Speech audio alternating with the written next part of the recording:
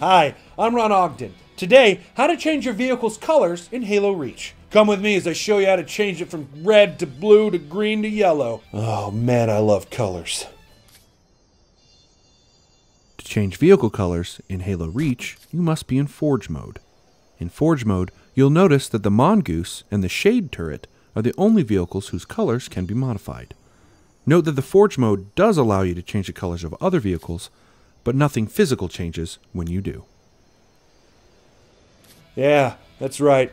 Only real men ride pink ATVs, raining death on the back of a pink mobile. That's right.